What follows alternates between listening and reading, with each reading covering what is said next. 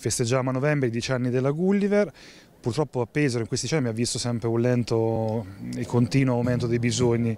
Attualmente Gulliver segue 430 famiglie, 900 persone per quanto riguarda il pacco alimentare settimanale e abbiamo attivato una raccolta quotidiana nei supermercati cittadini.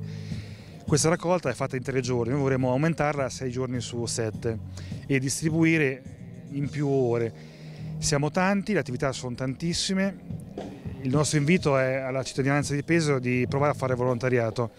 Il volontariato può essere fatto due ore, tre ore a settimana, cinque ore al mese, il tempo che uno ha da dedicare.